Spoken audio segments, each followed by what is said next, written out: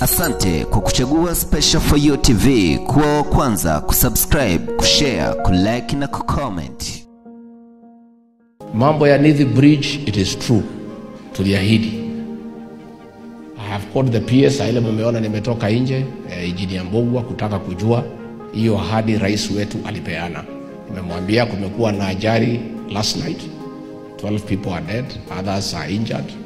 I'm here in Meru, emotions are very high. People are asking, they want an answer.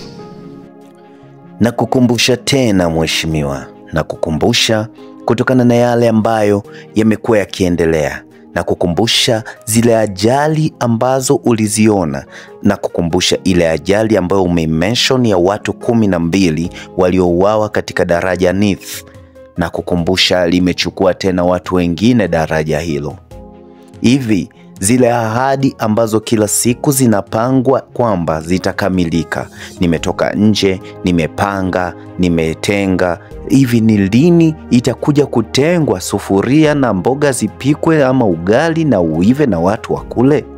Hivi ni kila siku promise na kukumbusha lile daraja ambalo ulikuwa ukilizungumzia pale, limechukua tena roho za wanawake wengine na wanaume wakiwemo. Hivi unalijua hilo? Na kama unalijua, je, umepanga itafanywaje tena, ama umetenga itakuwaje? Ni shilingi ngapi ulitenga, na kwa nini hazijafika, na kwa nini daraja hilo halijatanuliwa?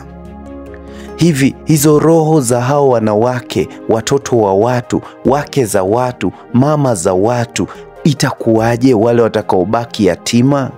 Ni kipi mmewapangia wale wanaofariki? Wanawake hao walikuwa wanatoka Rongai wameenda mpaka Meru. Kutoka Meru wamedansi, wameacha wakicheza sherehe yao ya mwisho. Kumbe walikuwa wajui kwamba hiyo ndio ilikuwa mara yao ya mwisho kusikia mziki katika masikio yao.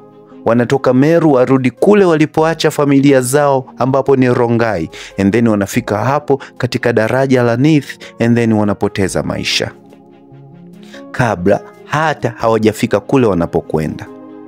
Hivi inakuwaje?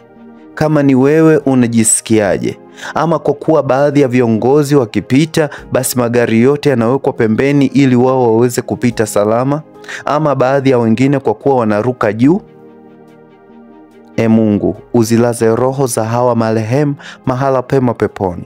Lakini viongozi, tunawauliza tena, ahadi zenu zitatimia lini kuweza kukamilisha kile ambacho kimekuwa kikitokea katika maisha ya wananchi ambao walikuchagua na ambao unawaongoza. Hivi wananchi wakiwa wanapotea hivyo, ni nani atakuamini? Ni nani atakupigia kura tena? Mbona usitengeneze maisha mazuri ya wale wananchi ambao walikupigia kura ili wakapita salama katika daraja hilo? Katika daraja hilo, hivi kuna shetani kweli ama ni kipi hasa limechukua roho za hawa unaowatazama hapa? Daraja hilo limesababisha eh, ajali nyingi sana, lakini mbona hamuoni?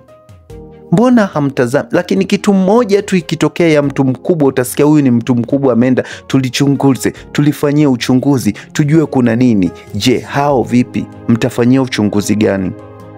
Ajali imetokea, tunaamini kwamba ajali haina kinga ila ajali pia inaweza ikaangaliwa vizuri before na isitekelezwe. Je, serikali mmejipangaje kutanua daraja hilo ama kujenga barabara more than that one ama kuhamisha basi da barabara hiyo kama imewashinda kujenga daraja hilo? Kuna uwezekano mkubwa sana barabara hii ambayo unaitazama hapa ni barabara ambayo inaonekana ni smart, nzuri, ya kuvutia, lakini kasehemu kadogo sana kamekuwa kakipoteza maisha ya watu. Je, ni kafara zinakuwa zinatolewa hapo ama ni kipi hasa ambacho kinakuwa kinatolewa hapo ama kinafanyika hapo? Mbona kama ni kitu ambacho kinawezekana kisifanyiwa utekelezaji? Hebu tazama barabara hii unayoitazama, barabara ilivyonyooka, ilivyo nzuri, kona zake si ngumu, si kubwa, lakini daraja pale, kwenye daraja tu hapo unapopaona ndipo kwenye matatizo yote ambayo yanapelekea mpaka vifo vya watu vinatokea. E Mungu, uzilaze roho za marehemu hawa mahala pema peponi. Amen. Jina langu Jack Special, mimi naweza kusema tu inna lillahi wa inna ilaihi rajiun. Bwana alitoa, Bwana ametoa, jina lake lihimidiwe.